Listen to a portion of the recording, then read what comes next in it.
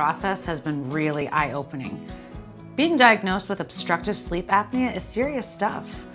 Aren't you glad you finally listened to me? Have the CPAP and Aloha mask, and now we can finally get a good night's sleep? Hi, honey. It's mom. Standing right behind you. Unlimited data talk and text on any Wi Too many of our friends and family are leaving Connecticut for more affordable states. Students we're educating here are leaving for better paying jobs elsewhere.